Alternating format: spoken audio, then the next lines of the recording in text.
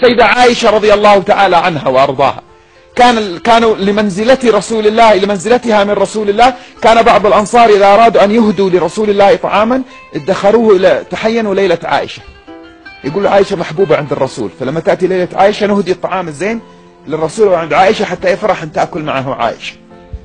فأهدي إلى سي... إليه صلى الله عليه وآله وسلم في حجرة عائشة خبيص نوع من الطعام فيه سائل وجاف خبيث. خبيصة. أهديت فوضعت وكانت السيدة سودة جالسة مع السيدة عائشة في الحجرة ورسول الله دخل وجلس. فوقع في خاطر السيدة سودة. هذه كل مرة الهدايا تأتي في ليلة عائشة. نحن ما حد يرسل الهدايا لما تأتي ليلتنا. فالسيدة عائشة فرحة أمام ضرتها أن الهدية جاءت عندها. فتقول تأكلين معنا يا سودة؟ سيدة سودة تقول لا ليس لي حاجة إليه. ما أريد. فقل تقولها بل تأكلين معنا. تقول ما أريد.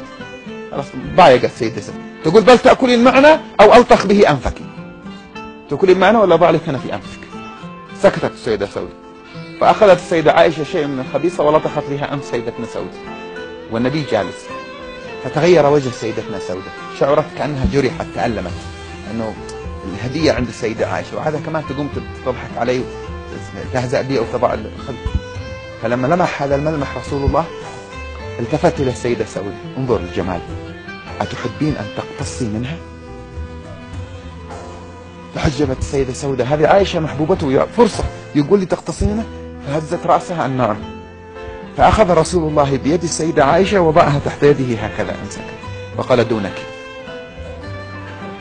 قامت السيدة سودة ولتختها في أنفها فانفض المجلس. والسيدة عائشة تضحك والسيدة سودة تضحك. جمال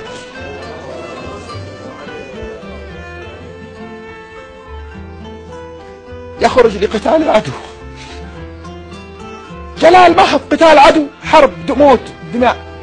في سفرته معه السيدة عائشة. يرى أن السفرة طالت عليه وقد أصابها الملل التعب تعبت. قالت السيدة عائشة فلما نظر إليه ورأى أثر الملالة في وجهي. أشار إليهم أن تقدموا. قال للجيش خلاص امشوا قدام خلونا. فلما غابوا عن أعيننا التفت إلي قال أتسابقينني؟ يلا سابق قال فقلت نعم. تقول السيدة عائشة فسبقته صلى الله عليه وسلم. قال ثم بعد ذلك لما كثر في اللحم يعني بعد سنوات سمنت قليل سيدتنا عائشة. سافرنا فالتفت إلي قال هل تسابقينني؟ قالت قلت نعم. قالت فسبقني صلى الله عليه وسلم. ثم التفت إلي وقال هذه بتلك يا عائشة. حبيبي يا رسول الله. الجمال كله. هذا الجمال. وأنت حتى في المعركة لم تغفل أخذ خاطر هذه الزوجة. وأعظم من ذلك بعد سنوات تذكرها باللحظة الجميلة التي كانت بينكما كأنك تقول لها أنا لم أنسى ما حصل في المرة الماضية. مع ثقل الرسالة وعظم المسؤولية وكبر الهم وشدة ما يلاقي لكنه لم ينسى المعاني الجميلة بينه وبين زوجته. هذا الجمال.